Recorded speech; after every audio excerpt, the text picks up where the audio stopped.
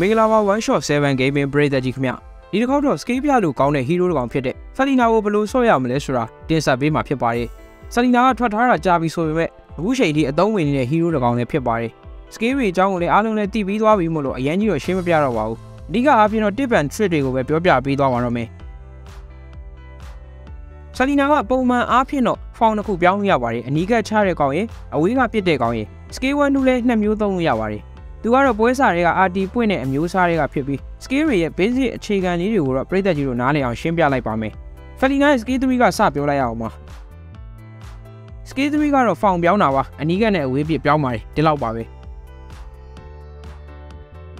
scale 1 အဝေးကပြစ်တဲ့ကောင်ရဲ့ scale 1ကကျတော့ trap ရှာတာပါ damage ထိတယ်လေးသွားတယ်ပြီးရင် vision ရတယ်အနီးကရှာတဲ့ကောင်ပြောင်းသွားရင်တော့လက်သေးနဲ့ပြေးကုတ်တာဖြစ်ပါတယ် damage လည်းထိတယ် felina မှာ damage ကတဲ့ရှိတစ်ခုလည်းရတယ်အပူဆောင်နေတဲ့ selina ပါတဲ့ပွဲတွေမှာဆိုရင်တစ်ဖက် enemy ကို skill 1နဲ့ vision ပြတာတွေနှောက်တာတွေလုပ်လို့ရပါတယ်အဝေးကပြစ်တဲ့ကောင်ရဲ့ skill 2ကျတော့ငကားတစ်ကောင်လွှတ်လိုက်တာပါထိရင်2 second stand ကပ်ပြင်တော့ stand ကြာကြီးလျော့ပါတယ်အဝေးကြီးကပြစ်လို့ထိရင်ပိုပြီးကြာတတ်တယ်အနီးကပြေးရှာတဲ့ကောင်ပြောင်းသွားရင်တော့ skill 2က dash ဖြစ်သွားပါတယ် damage လည်းထိတယ် felina ရဲ့အကျန်းဆုံးအချက်လို့လည်းပြောလို့ရပါတယ် scale တွေကခဏခဏလေးတွေ့နေကြဖြစ်တယ်လို့လူတိုင်းဒီပါလဲ guide တွေလုပ်ပေးနေတာဆိုတော့အထွေထူးကြီးတော့ရှင်းမပြတော့ပါဘူးဒီလောက်ဆိုရင်တော့သဘောပေါက်မယ်ထင်ပါတယ်အရေးကြီးတဲ့ကိုမိုတွေကိုပြောကြရအောင်ပါ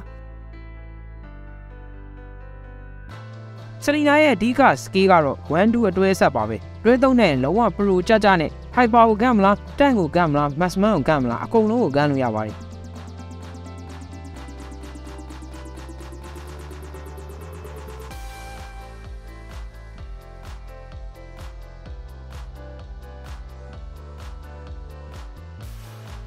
ပထမဆုံးတစ်ချက်ကတော့ trash ရှာပြီး scale 2ပြစ်တဲ့အကွက်ပါသူကကြတော့ AC enemy ကိုချိန်ပစ်တဲ့အချိန်မျိုးမှာပဲသုံးတယ်ရှုံထဲမှာပုံပြီးကန်းတာမျိုးဒါမှမဟုတ်လို့ရှိရင်လိန်ကိုသွားပြီးတော့ချတာမျိုးမှာအသုံးဝင်တယ်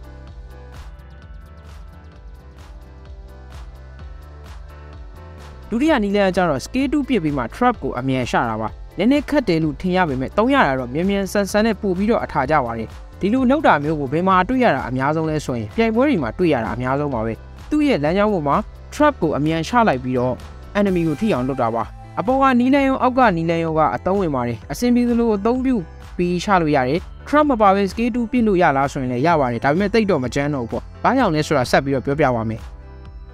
scale 2ထိရင်အကြာကြီး stand ဖြစ်တာဆိုတော့တကယ် damage ထိတဲ့သူ့ရဲ့ဝင်ကုတ်တဲ့အပိုင်းကိုပြောပြပါမယ်ပထမဆုံး scale 1 2ပေါင်းပြီးပြစ်လိုက်ပြီးဆိုတာနဲ့ခေါင်းပေါ်မှာအမှတ်ကလေးနှစ်ခုရပါတယ်အဲ့လိုအမှတ်ကလေးနှစ်ခုရရင် scale 2 dash 3ကရတယ် scale 2နဲ့ scale 1အတွဲလိုက်ထိလို့ရှိရင်တော့ dash 4ကရပါမယ်ပြောချင်တဲ့သဘောတရားကတော့ကျွန်တော်တို့ scale 1 trap ကို enemy ကိုအရင်တင်ပြီးတော့ scale 2ပြစ်လိုက်လို့ထိလို့ရှိရင်လည်းကျွန်တော်တို့ dash က4ကသုံးလို့ရမယ်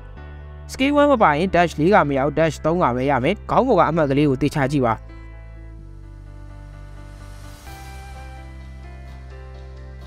အဲ့ဒီတော့ Selina ကန်လို့ရှိရင်ပို့ပြီးအဆင်ပြေခြင်းတော့ scale 2ပြစ်တဲ့အချိန်တိုင်းမှာ scale 1ပါအောင်လုပ်ပါအဲ့ဒါဆိုရင်ပို့ပြီးမိုက်ပါလိမ့်မယ် နောက်ထပ်မှတ်ထားရမှာတစ်ခုက Felina ကလုံးဝမန်နာမလောက်ပါဘူးမန်နာအရန်ကုန်ပါတယ်အဲဒါကြောင့် Island ရွေးချယ်တဲ့အခါမှာမန်နာလောက်မဲ့ Island တွေဒါမှမဟုတ်လို့ရှိရင်လည်းပွဲစားတွေကမန်နာဘူးနဲ့ Mage Emblem 3ကိုအသုံးပြုပေးပါဒါဆိုရင်တော့ Selina ကိုကောင်းကောင်းအသုံးပြုလို့ရပါလိမ့်မယ်